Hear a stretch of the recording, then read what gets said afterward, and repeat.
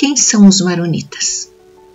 A Igreja Maronita é uma igreja católica tradicional no Líbano que possui um ritual próprio chamado rito oriental e que difere do rito católico, embora tenha no Papa sua autoridade maior.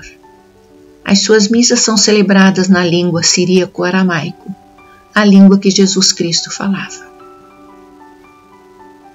O Papa Pio X, demonstrando a sua afeição aos maronitas, disse: Amamos todos os cristãos do Oriente.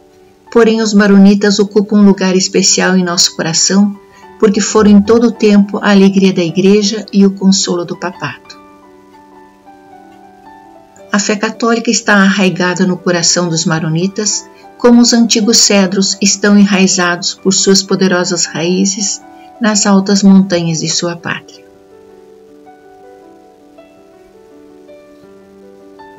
Amigos em Cristo, sejam bem-vindos a esse canal. Hoje eu quero falar sobre a nossa Igreja Católica e compartilhar com vocês sobre as suas duas raízes. Temos a ocidental ou romana, que é a que nós vivenciamos, a segunda é a oriental, na qual a Igreja Maronita se insere.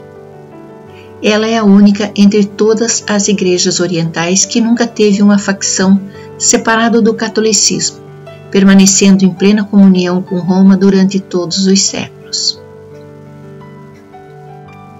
Os maronitas são os cristãos católicos orientais que seguiram a orientação religiosa de São Marom e seus discípulos. A primeira fonte de informação que diz respeito a São Marom é uma carta que São João Crisóstomo mandou em 405 de seu exílio de Cucuza, na Armênia, para o amigo eremita, onde pede oração e lamenta não poder visitá-lo. A segunda fonte de informação apareceu uns 20 anos mais tarde, através do teólogo historiador Teodoreto de Cir, que dá mais informações sobre a vida do eremita São Marom, um homem que se dedicava à penitência e à oração, que dizia ser seu remédio. Morava sob uma montanha na região de Apameia, no norte da Síria. Além de sua grande sabedoria e do dom dos milagres, ele era uma das grandes celebridades da região e exercia forte influência espiritual sobre seus discípulos e sobre o povo da sua região. Após sua morte, seus discípulos construíram vários mosteiros por toda a Síria, chegando até o Líbano.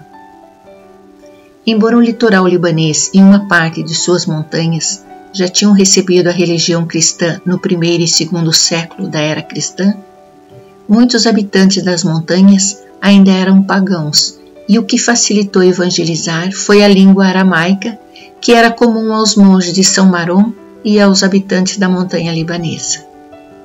Assim, todos aqueles que seguiram os ensinamentos de São Marom e caminharam segundo os conselhos de seus monges foram chamados maronitas. E há mais de 15 séculos, este vocábulo foi sempre sinônimo de católico. As primeiras relações amistosas entre maronitas e europeus remontam à época de Carlos Magno, graças aos europeus que, para chegar ao túmulo de Cristo, muitos peregrinos do Ocidente atravessavam o litoral libanês habitado pelos maronitas. Durante quatro séculos, Roma ignorava a existência dos maronitas, que, por sua vez, obrigados ao isolamento na montanha libanesa, os maronitas ignoravam tudo o que acontecia em Roma. Mas, com a chegada dos cruzados ao Líbano em 1099, os maronitas se liberaram do isolamento e reataram boas relações com alguns países europeus e especialmente com a Igreja Latina. Em 1535, o rei da França assinou um acordo facilitando para os franceses o comércio com todos os países do Médio Oriente e de defender os direitos dos cristãos desses países frente aos otomanos e aos ingleses. Os maronitas e os drusos fundaram o Líbano moderno durante a ocupação otomana no início do século XVIII, através do sistema conhecido como dualismo maronita-druso. Posteriormente, nos massacres dos cristãos do Líbano e de Damasco em 1860, os europeus decidiram intervir com expedição de tropas para pacificar levando ao Líbano o socorro e a paz, sendo considerados os protetores dos cristãos do Oriente. Os maronitas têm uma lista enorme de santos mártires devido às perseguições. Além de São Marom, vários religiosos maronitas foram beatificados e canonizados pela Igreja Católica. Podemos citar alguns: São Charbel, Santa Rafika Pietra Chopok e São Nimatullah Kassab. No Líbano encontramos muitas demonstrações de sua devoção à Virgem Maria e que foram as principais sedes patriarcais maronitas e todas dedicadas a Nossa Senhora. Convento de Nossa Senhora de Yanu, Convento Nossa Senhora de Maifok, Convento Nossa Senhora de Quanubim, Convento Nossa Senhora de Kerk. Os monges de São Marom conservaram a liturgia em sua forma primitiva e, apesar de algumas modificações introduzidas, conserva ainda intacto o selo de antiguidade e a sua simplicidade.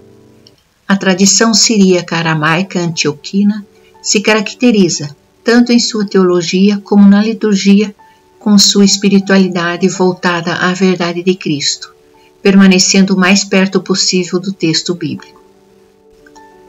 Em novembro de 2012, o Papa Bento XVI nomeou o libanês Mar Bechara Rai como cardeal, sendo o atual patriarca católico maronita de Antioquia.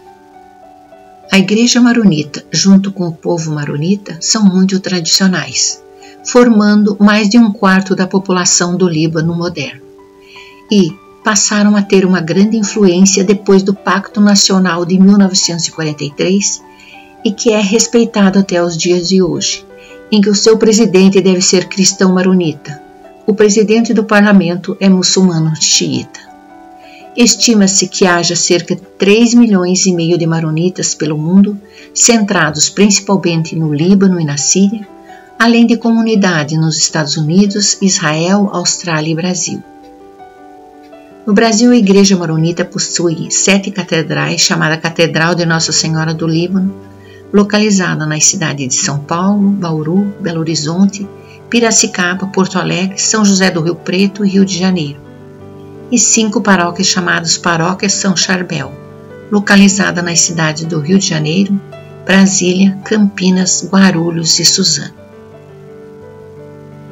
Os maronitas continuam a desempenhar um papel significativo na história e cultura do Líbano, enfrentando desafios como a diversidade religiosa e as mudanças sociais. Obrigado por acompanhar esse canal.